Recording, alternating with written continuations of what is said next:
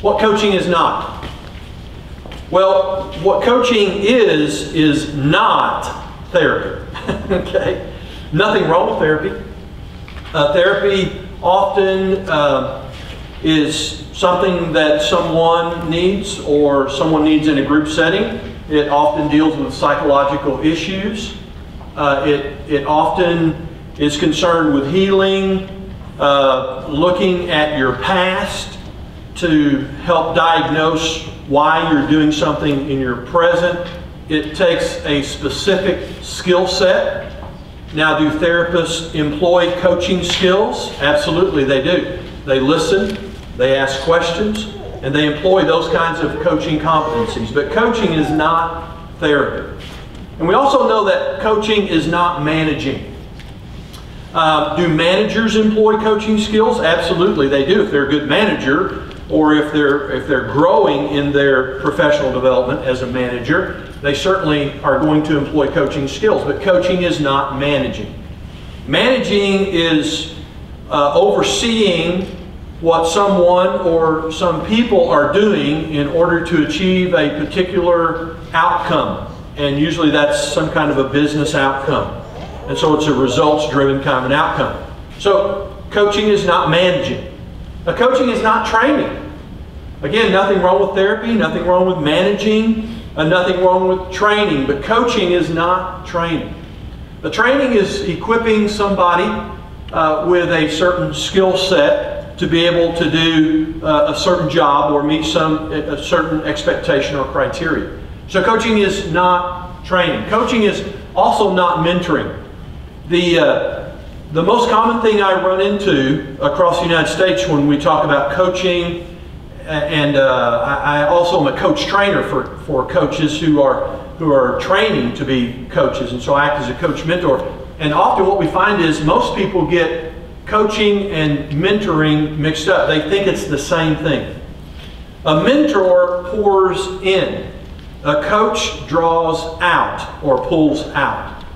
Uh, a mentor is someone who utilizes their own experience, their own expertise, their own level of education on the behalf of someone else. Uh, they tend to give you something they have that you may not have. Or they model something you need. Uh, but coaching is someone coming alongside of you and helping you leverage your experience leverage your own expertise level, your own level of education on your own behalf. So this is the, uh, the most common misunderstanding about coaching is that coaching and mentoring are the same thing. One pours in, one pulls out. And then coaching is also not consulting. Nothing wrong with consulting. A lot of us act as consultants in our roles. But coaching is not consulting. Consulting is someone delivering from a, from a specific skill set, something that a individual or a group needs. Uh, and so it's a level of expertise that is being utilized and leveraged. And so coaching is also not a restricted practice. Uh, we do uh, see a, a, a really high percentage today of folks moving uh, from many professional roles to what we call a coaching role. And coaching can be a practice. And there are a few of you who probably are life coaches in here, and that, that may be one of your practices. Or you may be in a practice as a, as a coach in some way. But coaching really is not restricted to a practice. Coaching is a skill set that we pick up and that we integrate into every role that we have our family role, our work role, our organizational role, uh, even, even just connecting with people at the store. Coaching is much more, uh, becomes much more about who you are than necessarily what you do. And what you do actually begins to flow from who you are as you begin to integrate this thing we call coaching into the different roles and the different parts of your life. That's what we mean when we say creating a coaching culture personally, professionally, and organizationally. So that's what uh, coaching is not. So, what is coaching? Well, coaching is a delivery system. That's what coaching is. Yeah, we talked about that on the growth map, on the growth path that we looked at. That coaching is a delivery system. In other words, it facilitates a process moving from doing to thinking. And a lot of good things come when we think. Uh, my wife and I were in residential setting working with kids and families in crisis for about six years, a long time ago, or early on in our marriage. Uh, we've been married about uh, 75 years now, and actually 33. She's here somewhere, but about 33 years. And uh, uh, we, we used to work in a residential setting when behavior modification was big. Some of you remember that. And behavior modification, we believe that uh, behavior could, uh, could influence and shape belief. And so you remember those days, some of, some of you do, when behavior modification was big. And you don't hear much about behavior modification much these days, and you know why? Because what we found out was that behavior doesn't shape belief. Belief shapes behavior. And so if you want to shape behavior in your life and influence behavior in the lives of others, then you attack belief. You help people think.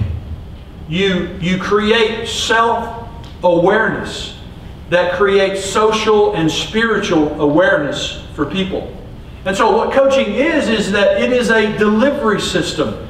It facilitates a process that happens in your life or in the life of a group or in the life of an organization that moves them from doing to thinking that creates and results in some form of either personal, professional, or organizational growth.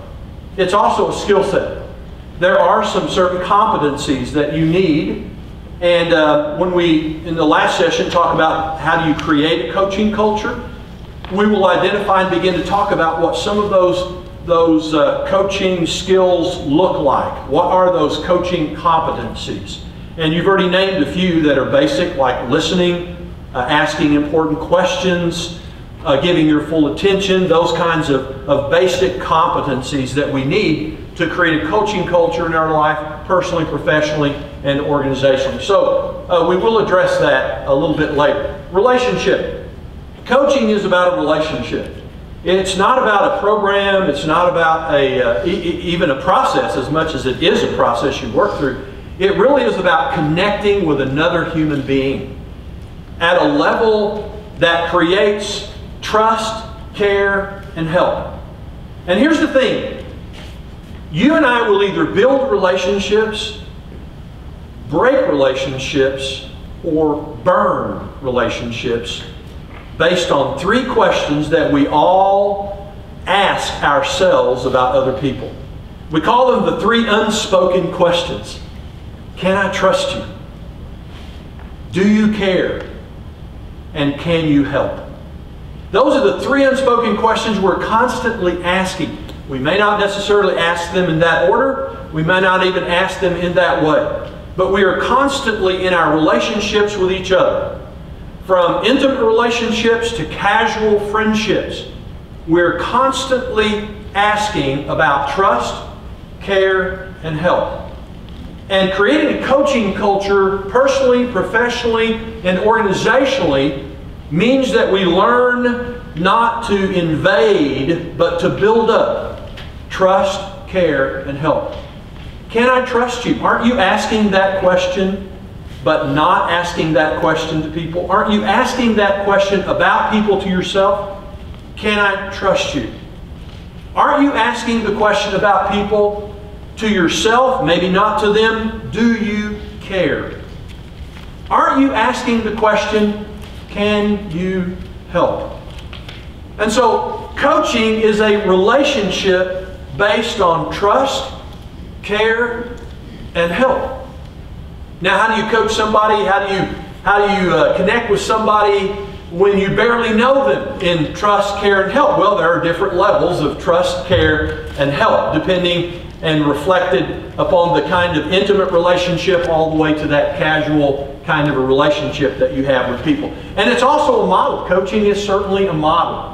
And we'll talk a little bit more later about that. But coaching is a model of connecting with people and helping them get from where they are uh, to where they need to be. So that's what coaching is. Here's some definitions of coaching. Here's the International Coach Federation.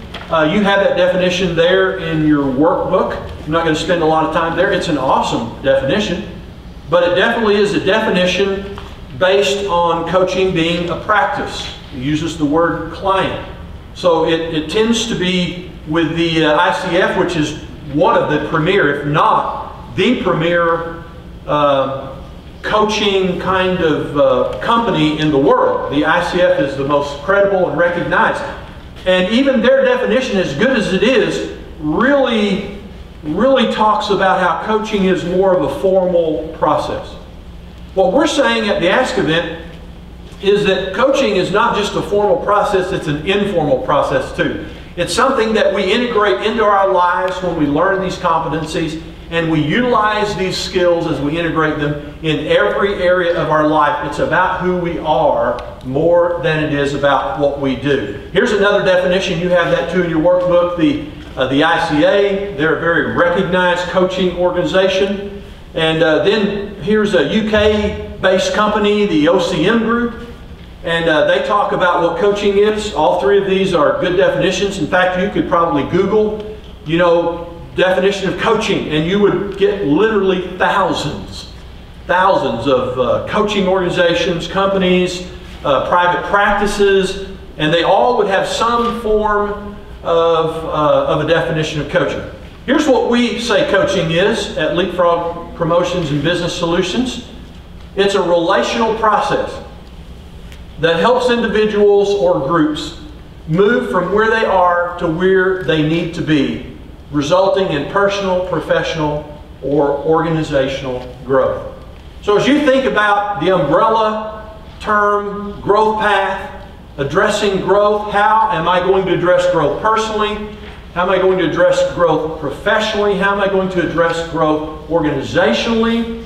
Well, coaching and creating a coaching culture in your life, in your role, and in your organization is one of the ways to address that kind of growth need. And so that's our definition.